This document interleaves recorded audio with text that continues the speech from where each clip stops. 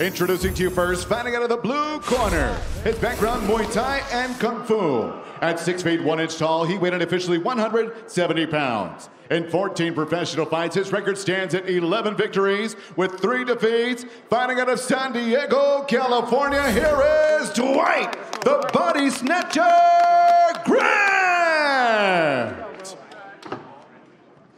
And across the octagon, his opponent fighting out of the red corner. His background, kickboxing and jiu-jitsu.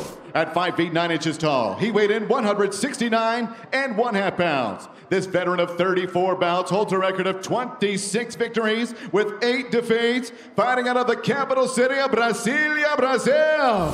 Here is Francisco Massaranduba Trinaldo. Well, fight fans, after three rounds, we go to the judges' scorecards. Here are the totals. Judge D'Amato has it 29 27 for Grant.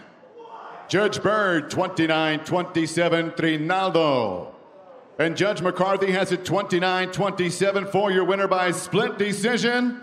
From Brasilia, Brazil, Francisco Massaranduba Trinaldo. I'm here with your winner, Francisco Trinaldo. Francisco, very, very close fight.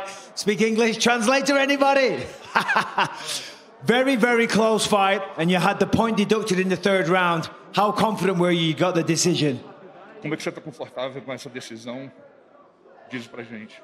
Eu lutei melhor, eu lutei melhor, né? Andei pra frente o tempo todo.